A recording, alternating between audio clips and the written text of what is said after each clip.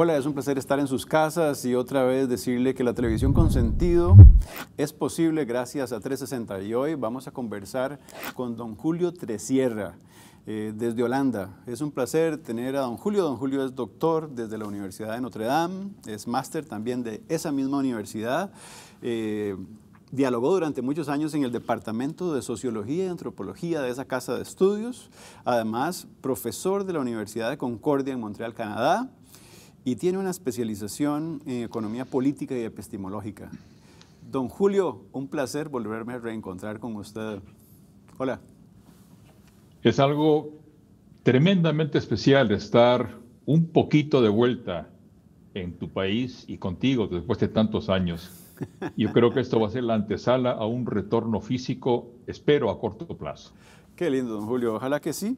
Eh, don Julio también ha trabajado mucho con experiencias en economías frágiles y comunitarias y es a partir de ahí que hoy vamos a hablar sobre el contexto post-pandemia y vamos a iniciar un poco eh, poniendo en en blanco y negro cómo esta, don Julio, esta etapa de COVID-19 no es la última pandemia que atravesamos.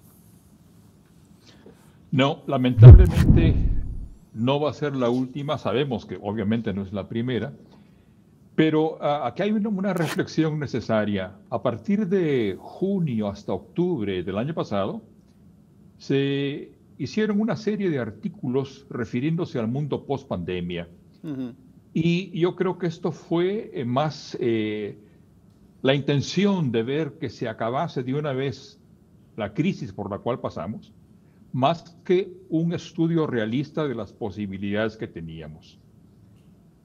A partir de este año, ya desde diciembre, que ha venido la segunda o la tercera ola en varios sitios, ha traído por los suelos las posibilidades que se veían de un mundo post pandemia.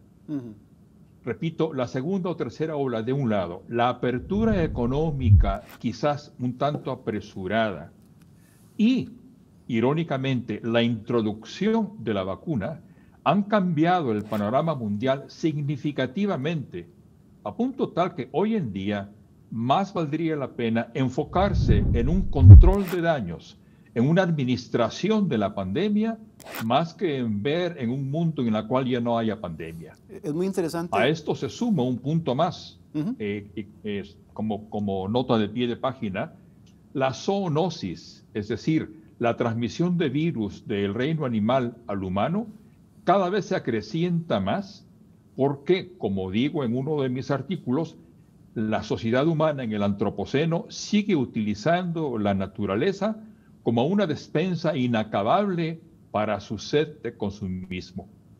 Esas son las condiciones que tenemos hoy en día, lo cual nos hace ver con un tanto de, pesimismo, diría yo, el futuro inmediato post pandemia. Dos, dos, cosas muy importantes que nos pone hoy en esta mesa de 360 don Julio Tresierra, peruano, canadiense, pero hoy desde Holanda conversando con nosotros aquí en el campus Rodrigo Facio. Don Julio, las enfermedades han evolucionado agresivamente.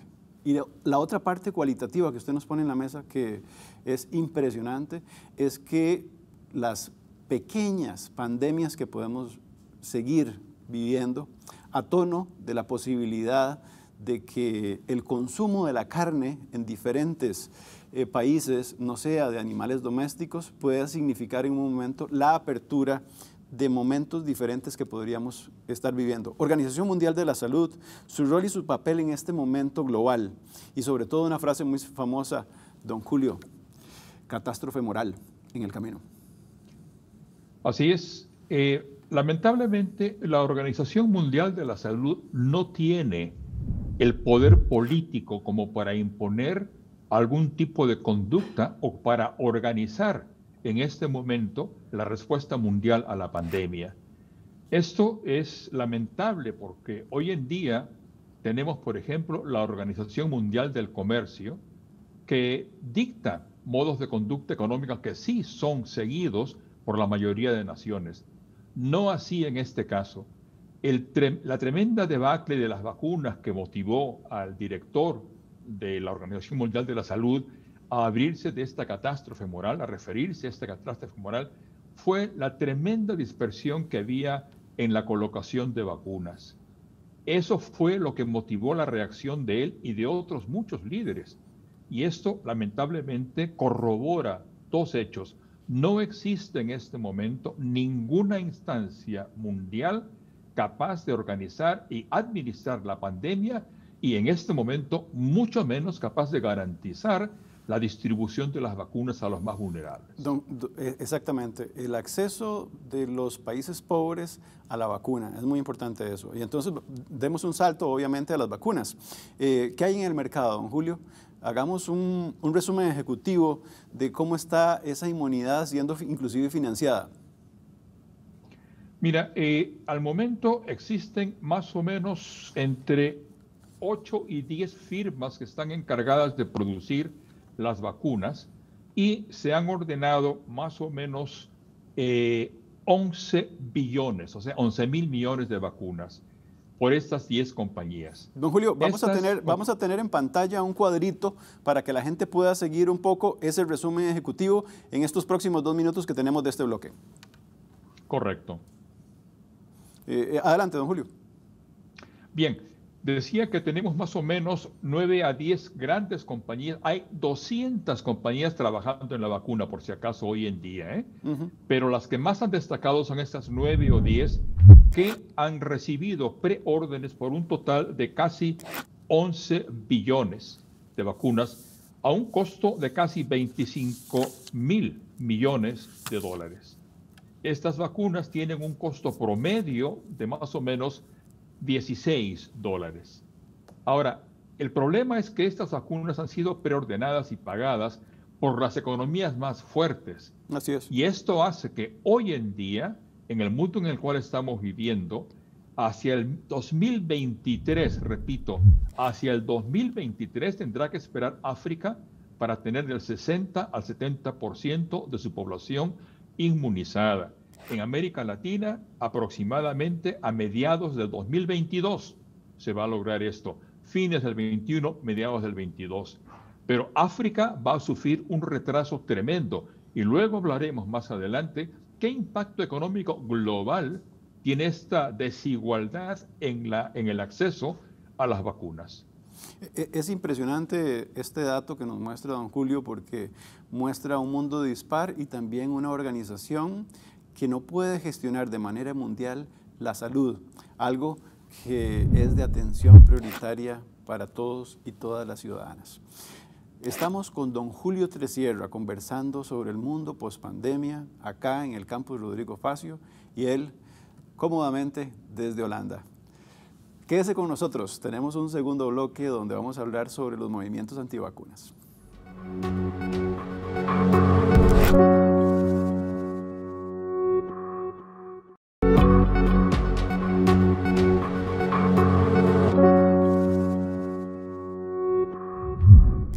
Estamos de regreso en 360 acá en la Universidad de Costa Rica, donde hacemos televisión con sentido y estoy con don Julio Tresierra desde Holanda, el doctor don Julio Tresierra, conversando sobre este mundo post-pandemia. Hablábamos sobre las vacunas, sobre una realidad que impera desigualdad y cómo esto nos pone en un panorama también, don Julio, donde nos hemos encontrado discursos antivacunas, con movimientos inclusive y también gobernantes que estuvieron en negación. Y bueno, fue una casualidad, pero también estos gobernantes han tenido que atravesar por lo que significa eh, el COVID-19. Bueno, sí, mira, el movimiento antivacunas es muy, muy antiguo ¿eh? y tiene raíces religiosas. Eh, aquí en Holanda, por ejemplo, los protestantes se oponen a esto. Tiene raíces culturales, una serie de creencias y de valores que impiden que se haga la vacuna. Y también hemos visto estas estos temas conspiracionales, a los cuales lamentablemente se han unido algunos líderes políticos, eh, Trump, uno de ellos, y Bolsonaro, el otro. Quiero hacer hincapié aquí a la ironía que se da que estos dos líderes que se opusieron y se oponen son los líderes de los países que tienen la mayor cantidad de muertos.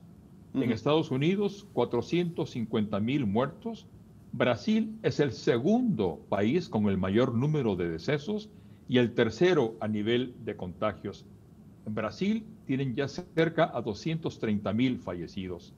Ahora, esto ha llevado a que un magistrado del Supremo, eh, Gilmar Méndez, ha acusado a Bolsonaro directamente de genocidio por haber administrado la pandemia de modo tal que la economía no se detenga y realizado, mandado más de 13.000 normas que se han actualizado, que, que se han analizado, que demostraban claramente la prioridad del señor Bolsonaro de no detener la economía a costo de cientos de miles de vidas.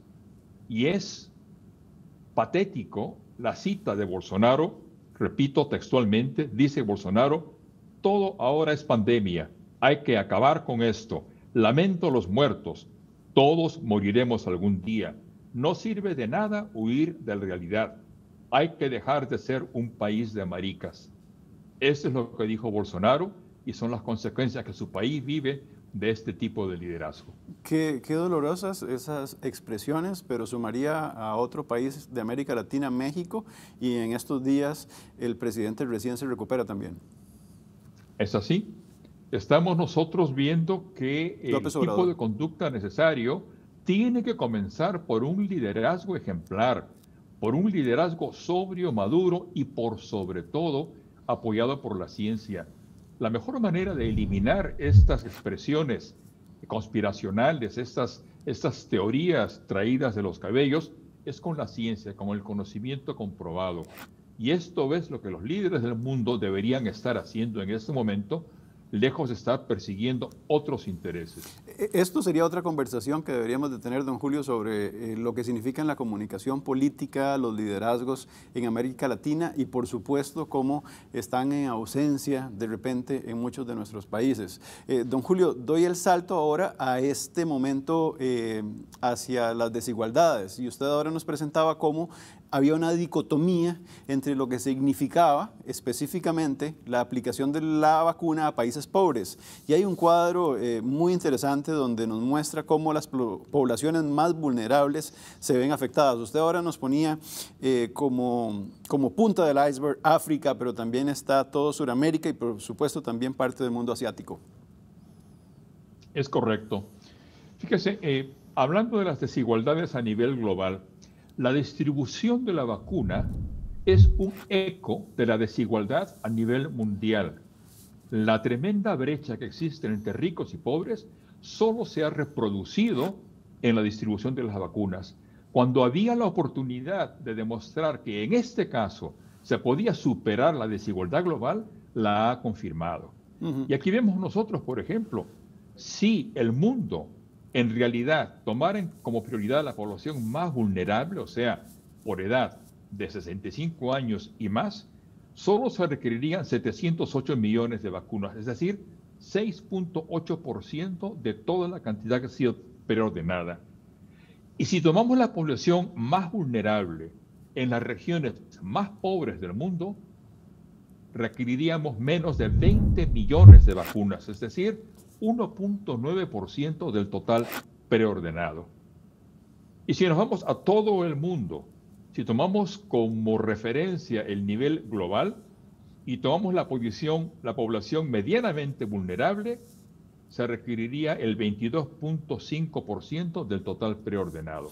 Es impresionante ese es número. Es decir, bien se podría atender a toda la población vulnerable del mundo y del mundo más pobre si existiese la voluntad política y si se dejase de lado las leyes del mercado que distribuyen la vacuna. Don Julio, para que la gente pueda entender estos números tan importantes que usted nos da, es que en esa relación, podríamos estar hablando de una relación 2.400 entre las personas de 15 a 64 años a 20 de 65 años hacia arriba.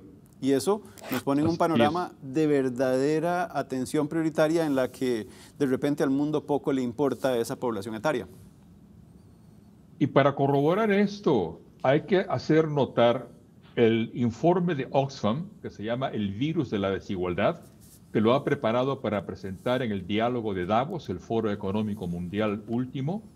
Y en este interesantísimo estudio que hace, indica que las ganancias de las 10 personas más ricas del mundo durante la pandemia han aumentado en 540 billones de dólares. Tome en cuenta que el costo total de todas las vacunas es 25 billones. Con esta ganancia ocurrida, lograda solamente durante la pandemia, podrían eliminar que la gran mayoría de los excluidos cayeran en la pobreza por la pandemia y pudieran financiar totalmente todas las vacunas para todo el mundo. Esa es, la, la lección más brutal que tenemos de cómo la desigualdad se ensaña con los excluidos. Voy a poner una paradoja que es verdaderamente eh, ridícula, pero que resume perfectamente lo que dice don Julio. Bastaría con que un pueblito europeo deje de echarse perfume y que ese perfume sea invertido en los más vulnerables para que las condiciones de pobreza cambien radicalmente. Los números que nos está dando don Julio Tresierra de Holanda son motivo de reflexión profunda y esa es la televisión de servicio público que nosotros hacemos. En un primer bloque hemos hecho un resumen exhaustivo sobre las vacunas, cómo son financiadas. Ahí ustedes van a tener un cuadro estupendo para reflexionar a profundidad sobre eso. Y ahora nos acaba de haber dado una imagen dinámica que nos dice que la desigualdad está causando dolor en muchas de las regiones. Nos queda un tercer bloque todavía con don Julio. No se vayan, por favor. Estamos acá en el canal 15 donde hacemos televisión con sentido para ustedes.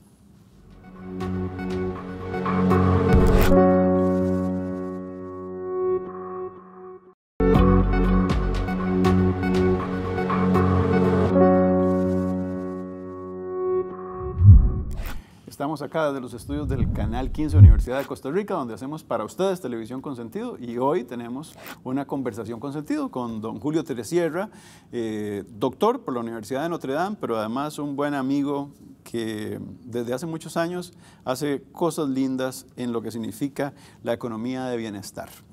Eh, don Julio, en todo este panorama hay algo que la gente y sobre todo los economistas han venido a poner eh, en la apertura. Y eso significa mucho de que en el paradigma de lo que significa lo sanitario y lo económico, se habla de restaurar la economía. Lo bien es cierto, don Julio, y al menos en nuestro país, es que la economía ya venía debilitándose. La pandemia solamente evidenció todos esos huecos. Eh, ¿Cómo podemos identificar las desigualdades de, de esta economía que hoy por hoy también nos da saldos en calentamiento global, en extinción de especies y, y en un momento en el que el éxito se basa en el consumo. He hecho una ametralladora de cosas para usted. Bueno, mira, eh, dice Lawrence Wright en una obra última que se titula El Día del Fin del Mundo, él es ganador del premio Pulitzer por esta obra, y se repite también en el informe de Oxfam lo que leo.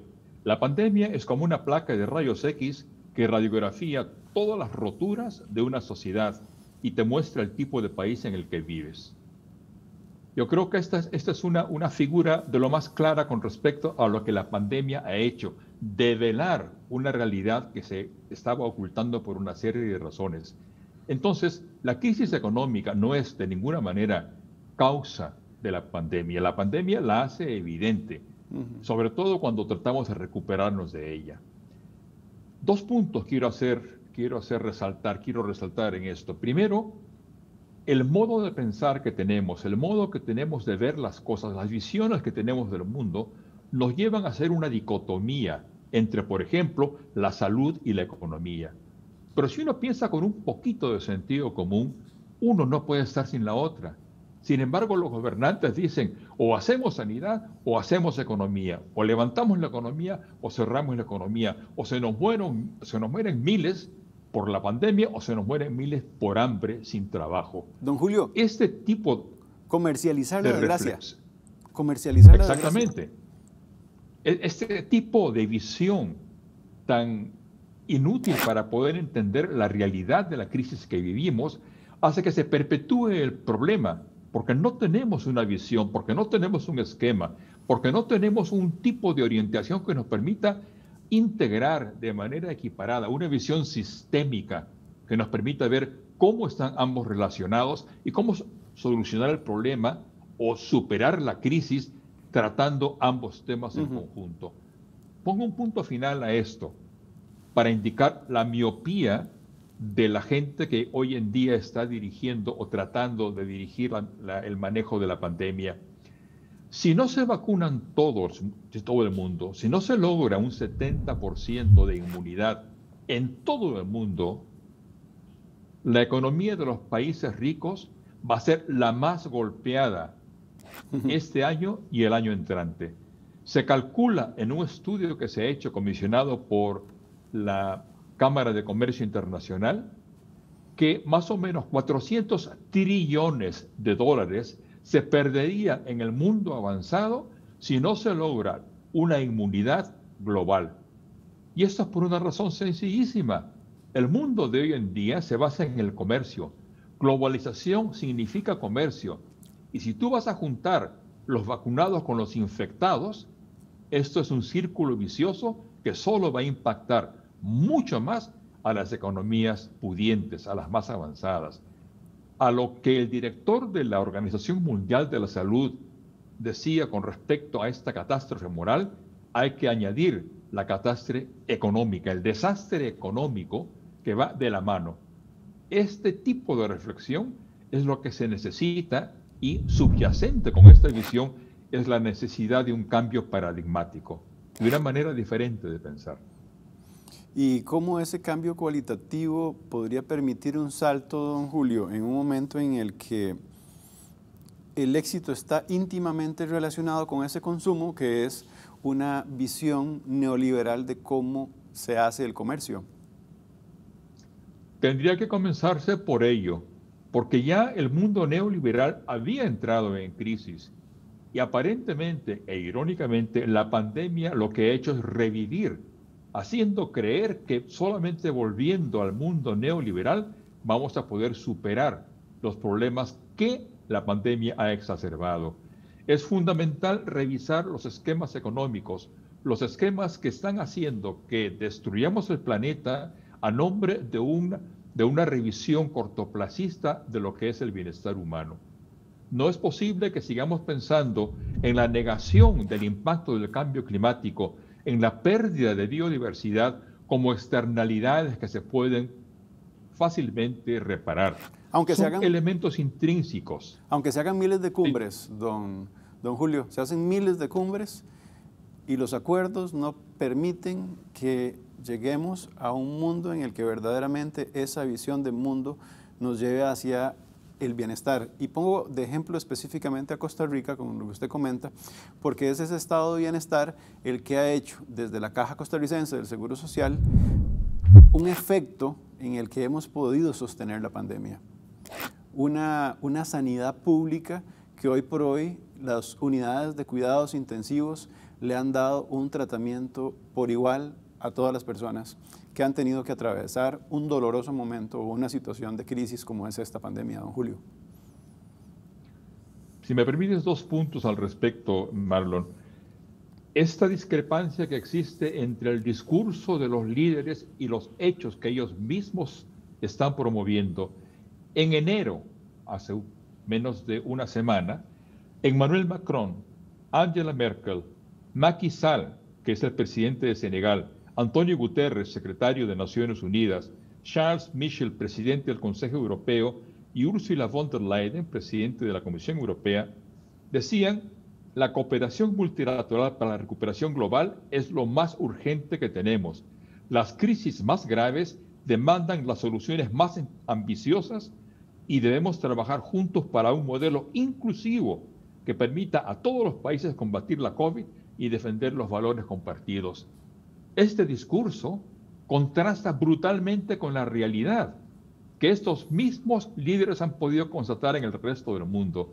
Y este es el primer problema que tenemos que enfrentar, hacer una compatibilidad entre el discurso político y el hecho social y económico. Y de otro lugar, los países que más han sufrido en América Latina son aquellos en los cuales el modelo neoliberal había, por ejemplo, privatizado la salud, privatizado la educación, excluyendo millones de gentes del acceso a una salud mínima, por no decir decente. Es esa la condición que generó el impacto más brutal en los más excluidos, el modelo, el modelo neoliberal. Si seguimos con este modelo y si, si tomamos en cuenta la posibilidad del incremento del número de pandemias en los siguientes 15 a 20 años, mira, tenemos que seriamente revisar el tipo de modelo que seguimos y el tipo de líderes que propugnan estos modelos. Me quiero quedar con esa frase, don Julio. Eh, los líderes que necesitamos son los líderes que efectivamente tenemos la posibilidad de elegir y cada país tiene una hoja de ruta clara para que este proceso en algún momento se pueda rectificar. Hemos tenido la oportunidad de conversar con don Julio Tresierra desde Holanda, especialista en economía política, pero por supuesto ese trabajo en comunidades frágiles es lo que hace que esta televisión de servicio público hoy traiga en esta ventanita una oportunidad de ustedes de conocerle. No puedo dejar de agradecer, por supuesto, a un gran amigo, Oscar Rojas Flores, que hace más de 15 años me presentó a este ser humano maravilloso que es don Julio. Un placer, don Julio, de compartir con usted este ratito. Vendrán muchas más jornadas. Inmenso placer y muy, muy agradecido a ti y a todo el equipo. Excelente. Ojalá que tengamos más oportunidades de seguir compartiendo vida. Un abrazo, maestro, y a ustedes que nos acompañaron en, esta eh, etapa de 360 2021. Que tengan un lindo día. Hasta luego.